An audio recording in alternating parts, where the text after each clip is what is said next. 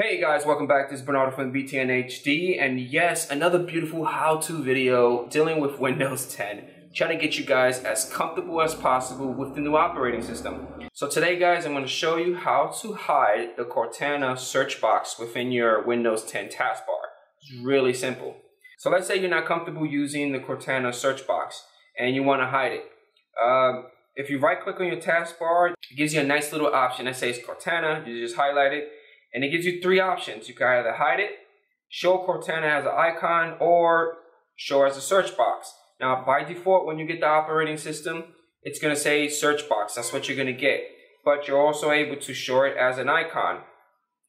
Or right click again and go to the taskbar and show it as a, or just hide it. All right? And that's it, guys. That is how you hide Cortana from the taskbar. If you have any questions or comments, leave them at the bottom. Don't forget about hitting that like button because it does support the video as well as this guy. And I'll catch you guys on the next one. Peace out.